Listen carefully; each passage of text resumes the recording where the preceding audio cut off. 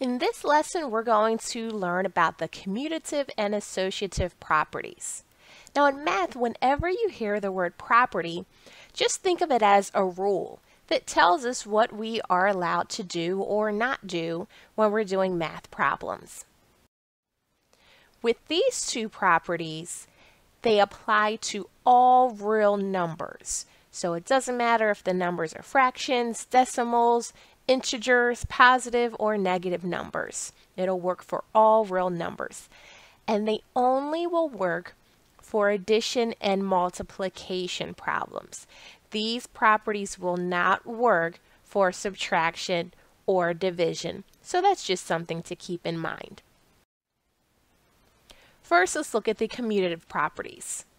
The commutative properties tell us that when we're adding or multiplying numbers together, we can do it in any order. We'll first look at addition.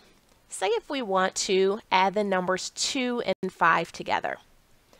We could write it as 2 plus 5, or we can switch the order around and write it as 5 plus 2. 2 plus 5 will give us 7, or when we switch it around as 5 plus 2, we still get 7. So it gives us the same answer no matter what order we add the numbers in. And of course, this doesn't just work for the numbers 2 and 5, it works for all real numbers.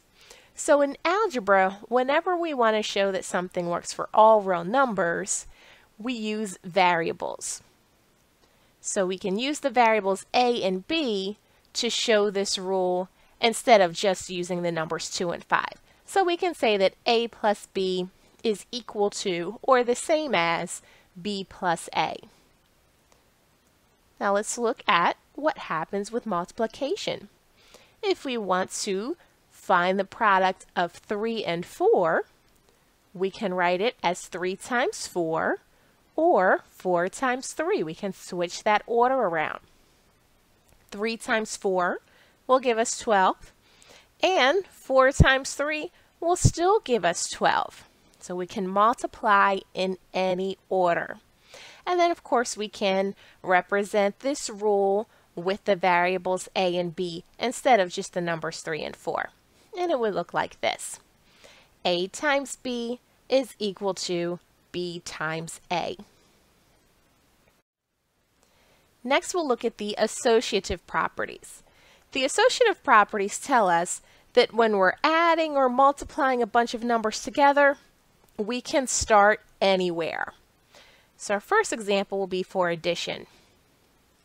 If we want to find the total sum of the numbers 5, 7, and 10, we can start by adding the 5 and 7 first, or we could start by adding the 7 and 10 first. It doesn't matter where we start. We'll still get the same answer in the end. Let's take a look. Okay.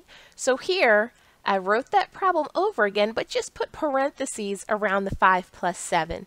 Remember in math, parentheses can tell us where we're starting. So it just kind of tells us what part of the problem we're beginning with. So if we start with the 5 plus 7, we know that that will give us 12. And then we can come back and add the 10 to that, which will give us 22. Or if we want to start by adding the 7 and 10 first, we can write parentheses around the 7 plus 10 just so that we can see where we're starting with this one. 7 plus 10 will give us 17. So now we have 5 added to 17, which still gives us the same total of 22. Okay, so when we're adding a bunch of numbers together, it doesn't matter which numbers you start with. As long as at the end you end up adding everything together, you will get the same answer. Okay.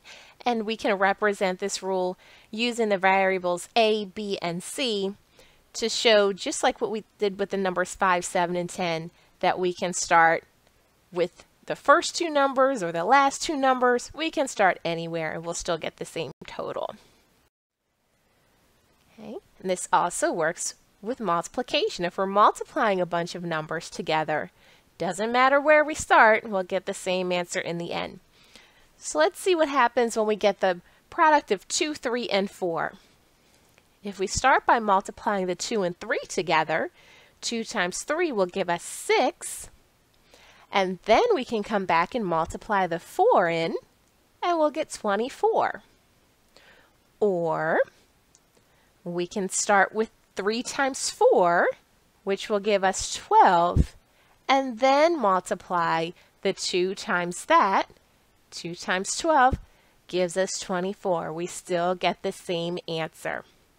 And just like before, we can represent that rule with the variables a, b, and c, showing that we can multiply starting with any of the two numbers and we'll still get the same answer either way.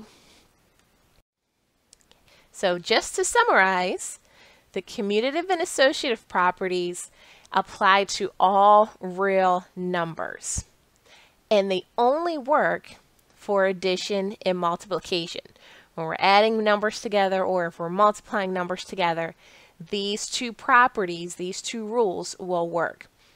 So the commutative properties tell us that we can add or multiply in any order.